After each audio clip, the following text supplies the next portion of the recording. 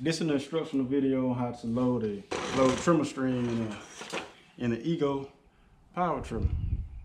I really had to pre-cut my string just for ease of video. You man, you know how to take string out and cut it, right? And uh this is a stringer that I like to use. It's a a Rino-Tuff 0.095 inch twisted string.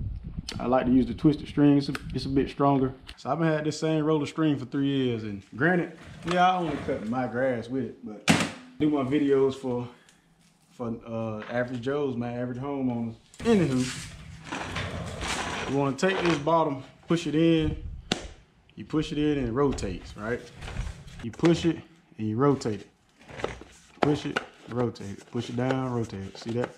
Y'all see it spinning. But you spin it until your holes line up again. Right there, see? My holes are lined up on the inside, so now all I have to do is take my string, push it, push down on the, the head, feed it through. See it came through on the other side. Feed it through. Try to make it as even as you possibly can. So that way it's loaded evenly. And all you gotta do now is just same thing, rotate. Rotate it, feed it. See that? Feed it.